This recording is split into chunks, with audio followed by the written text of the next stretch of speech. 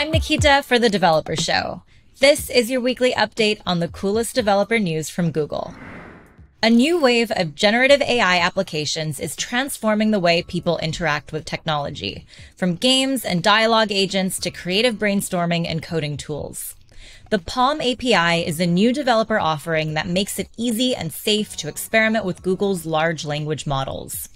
In addition to the API, we're releasing MakerSuite, a tool that lets developers start prototyping quickly and easily.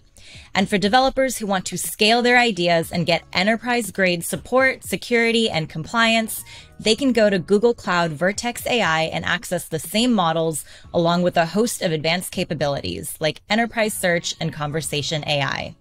To learn more about this new generative AI tooling, check out the blog linked below.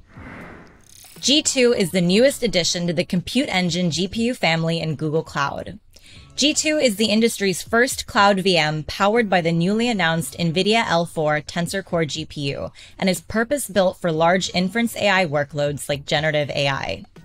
G2 instances also help accelerate other workloads, offering significant performance improvements on HPC, graphics, and video transcoding. To learn more about these new VMs and how to sign up for the private preview, click the link below. Curious about technologies like Apps Script, AppSheet, Sheets API, and Gmail API, or the creation of Google Workspace add-ons and Google Chat apps? If so, sign up for the Google Workspace Developers YouTube channel, where you'll learn how to customize, integrate, or extend Gmail, Google Drive, Google Calendar, and more. Check out the description box below for a link to the channel. As part of the Compose March 23 Bill of Materials, version 1.4 of Jetpack Compose has been released. This release contains new features like pager and flow layouts and new ways to style your text, such as hyphenation and line break behavior. It also improves the performance of modifiers and fixes a number of bugs. You can find details on these new features and an updated roadmap and issue tracker in the blog linked below. To learn more about all of this week's stories, make sure to check the description box below for all of the links. Please remember to like, subscribe, share, and stay safe.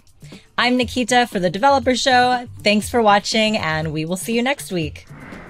Curious about technologies like Apps Script, AppSheet, Sheet.